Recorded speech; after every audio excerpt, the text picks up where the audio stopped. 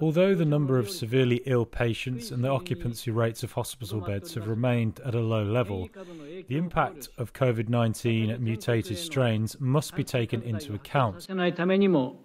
We must strengthen the countermeasures to prevent the infections from spreading to the rest of the country again.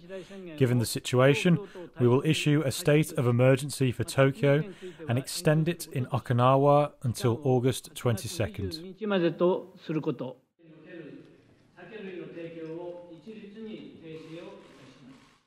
In areas under the state of emergency, we will continue with the measures we have been undertaking and will uniformly suspend the serving of alcoholic beverages at restaurants.